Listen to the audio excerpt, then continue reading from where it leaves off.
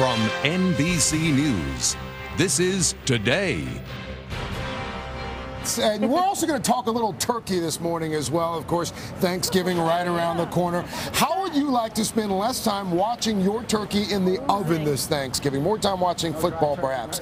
We're going to test out some gadgets that claim to cut down on your cooking time and still leave you with a juicy bird. Mm-hmm. And it smells amazing inside Yes, right yes, now. it does. Can't Dylan wait. and I are happy that there's finally food on the show because we like to eat.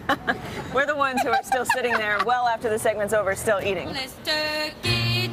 This morning in today's consumer, cutting down your turkey time this Thanksgiving. How about cooking that bird in a fraction of the time? Sounds like a good plan to me. Consumer correspondent Janice Lieberman is here with a few new tricks up her sleeve. I'm intrigued. Oh, we found some really cool new cooking gadgets that promise to cut your roasting time in half. Well, it almost sounds too good to be true, so we took them to an expert to try them out.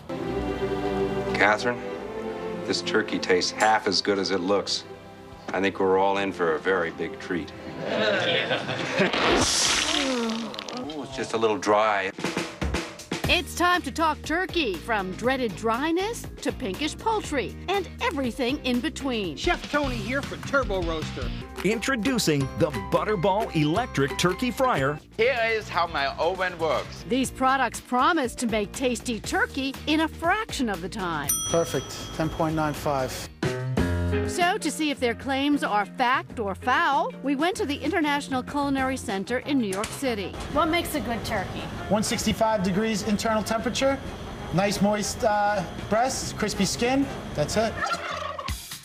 The Turbo Roaster. Let's say the theory behind it is the steam that's going to be pushed inside the bird. So you're going to get a nice moist inside from the steam and a golden brown crispy outside from the turkey roasting in the oven. Butterball Indoor Turkey Fryer. You know, normally it would take about 18 to 20 minutes per pound if you're doing it in a regular conventional oven. But, you know, you don't get it with deep fried goodness. So three to four minutes per pound, I think it'll work. And Wolfgang Puck's Pressure Oven. We followed the recipes just as the booklets came with all of the units. So let's see how they work.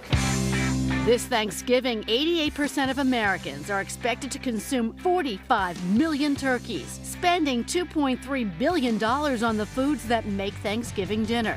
Almost an hour after we started, we were ready for a taste test. First up, the Turbo Roaster. Nice. Look at that water in there. Look at, look at all that juice. Great, great, great turkey taste. Yeah. Your mouthfeel is amazing. Next, Butterball's Indoor Turkey Fryer.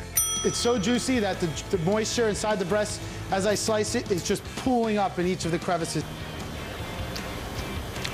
Pretty good. It is pretty good, yeah. They're very juicy. And finally, Wolfgang Puck's Pressure Oven. Oh, it's a lot of moisture in there. It's definitely juicy. We gave this an extra 10 because the instructions said so, if, Yeah. if needed. It's not dry, but it's, it's definitely more of a. The turbo roaster did more of a steam from the inside. This was more of a roast. The results? Good enough to make anyone do the turkey trot. Cooked in under an hour with these gadgets. A conventional oven would have taken close to four hours. Are you surprised that all three worked? Yes.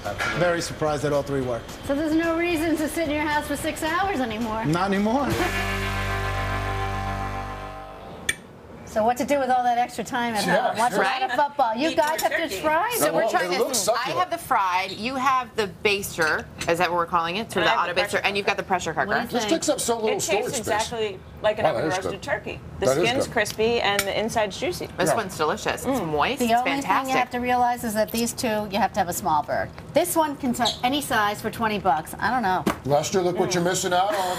you want us to send you some turkey, turkey? sandwich, folks. Oh, very nice. Only thing Nice. missing is the mustard. Excuse me, pardon me. Do you have any Grey Poupon? no, don't. Good stuff. All right, Lester. Thanks, Janice. Thank you. You're Love these tips, and we'll be right back after these messages.